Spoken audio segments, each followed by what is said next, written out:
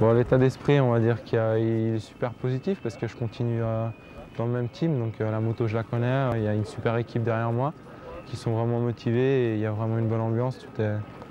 on est vraiment soudés dans le team, ils sont vraiment derrière moi. Donc c'est toutes des choses qui, mettent en confiance. Maintenant, voilà, ça commence, ça commence ici à Valence, mais il y, a encore, il y a encore du chemin avant le premier Grand Prix. On va continuer à bosser, bosser sur la moto, bosser physiquement, et puis ça devrait aller. Cinquième, en 2011, le Suisse Arnaud Tonus bénéficie du soutien de Yamaha et s'affiche comme un potentiel vainqueur. Il veut effacer ses déceptions de la saison passée.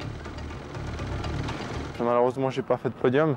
C'est vrai que j'étais un petit peu déçu par rapport à ça. Je m'attendais à, monter sur des podiums et pouvoir jouer, euh, pourquoi pas la victoire. Mais j'ai malheureusement commis des petites erreurs qui m'ont coûté, euh, coûté, le podium. Donc euh, voilà, j'ai bossé bossé dur cet hiver et puis euh, tout, commence à se mettre en place ici à Valence. Donc euh, j'espère que, ça va bien se passer. En tout cas, ça se présente bien.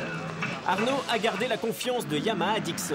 Il aura l'avantage de bien connaître son équipe et bénéficiera d'un soutien supplémentaire de Yamaha. Cette année, on a repris le, support de, Yamaha et d'usine en MX2.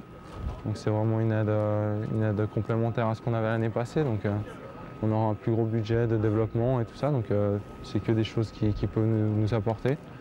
Et puis voilà, j'aurai un nouveau mécano aussi qui s'appelle euh, Heidi et euh, je pense que je pense que c'est quelqu'un de consciencieux et qui va aussi euh, bien bosser pour moi. C'est vraiment important qu'on soit tous liés et qu'on fasse du bon boulot ensemble.